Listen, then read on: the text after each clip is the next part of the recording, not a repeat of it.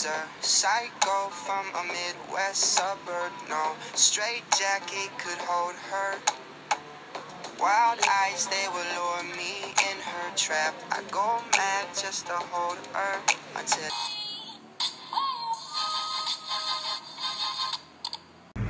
What's up? Welcome back to my channel. Yung mga hindi pa nakaka-subscribe, please subscribe down there.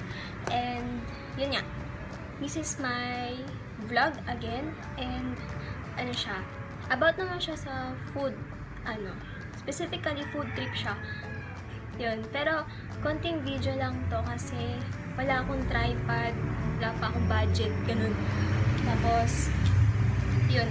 Konting video lang siya. So, hindi ko na-shoot yung mismong, ano, yung mismong part na kumakain, ganun. Kasi ang hirap nga eh. Kasi yun nga, ano, may gloves kami nun. Tapos, yun. Mahirap eh. Basta yun. So, yun. I hope you will enjoy the whole video. Wing James is located at San Roque, Marikina City. But there are also other branches available at different places. There are seven different flavors. These are barbecue, cheesy chicken, honey garlic, sweet sriracha, classic buffalo, salt and pepper, and also salted egg. In this video, we first pick the sweet sriracha flavored wings.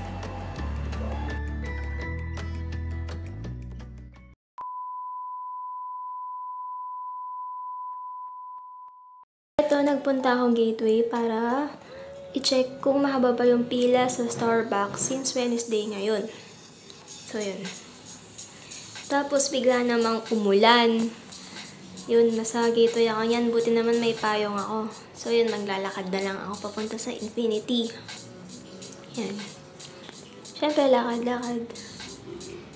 Tapos yun, na-reach ko na yung Manhattan. So, yun. Banda doon yung Infinity. Tabi ng Jollibee.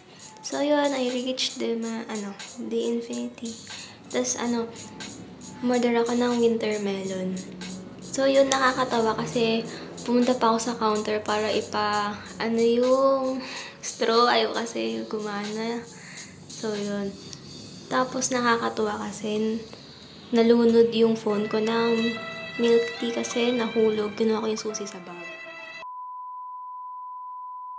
So, hi, ano, gagawa na lang ako ng reaction video. Tapos, i-rate ko yung bawat flavor ng natikman or nakain namin dun sa Wing James. So, yung branch, yung una sa, yun nga, sa Marikina. Yung pangalawa dun sa Maginhawa. Tapos, yung pangatlo sa Sampaloc. Tapos, yun, ito. Tapos, ipa, ano, yung menu din ipapakita ko dito.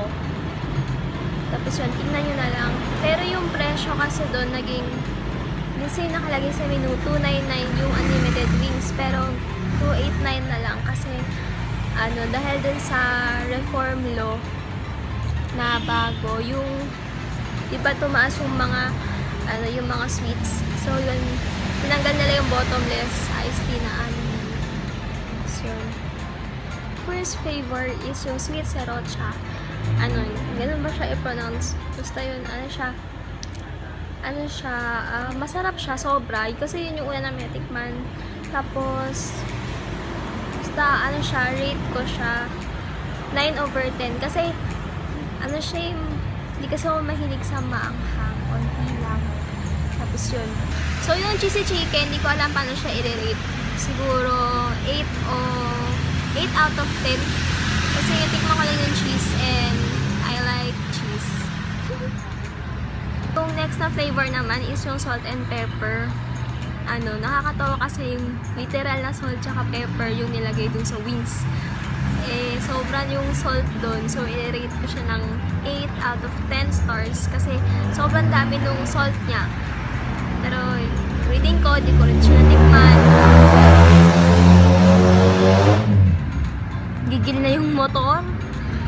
Hindi ko maalala kung salted egg ba yung isang flavor. Basta hindi ko siya natikman. Hindi ko alam paano siya i-rate. Pero try nyo na lang. Kasi yung classic buffalo, tas yung barbecue hindi available. Eh, yung gusto kong i-try. Ayun, so yun. Yung ano, yung bukas niya is 11 a.m. to 11 p.m. weekdays and weekends. Yun, yun yung time talaga nila. Pero nag-iba na ata kasi nung pumunta kami, 12 p.m. na siya, nag-open. Bago ko pala makalimutan, follow my Snapchat, Twitter, and Instagram account, and also follow yung kasama ko sa Wing James, his Instagram, Twitter, and Snapchat account. Thank you! Ay, yun na yung vlog ko, and I hope you enjoy it, and don't forget to subscribe, like, and comment sa mga requests na gusto nyo.